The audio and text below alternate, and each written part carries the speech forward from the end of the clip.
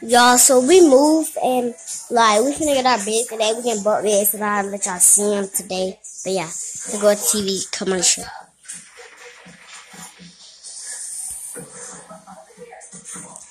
I'll get back to you when it gets on the TV show. Alright, so this is Coop and Cami Ask the World. Thanks for the tip. And thank you, Charlotte, for sharing your gift with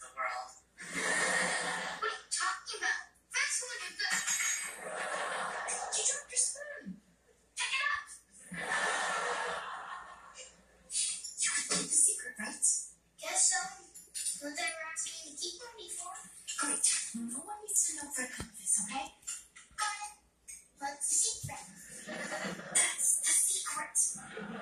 Right. Ready for a friend right now. So silly. By the way, Charlotte's not the only superstar today. Cooper fixed the squeaky step. I'm sorry. Cooper fixed it. Cami's right.